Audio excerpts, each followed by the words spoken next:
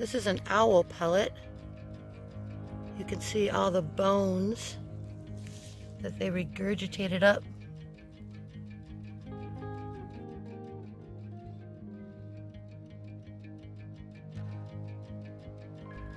Nope, not an antler, but bones of a deer for sure. Its spine and hips. Keep looking.